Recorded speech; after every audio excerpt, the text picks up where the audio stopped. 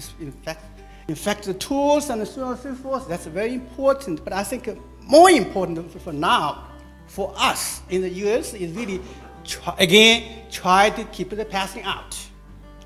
That's our best bet. That should be our primary strategies.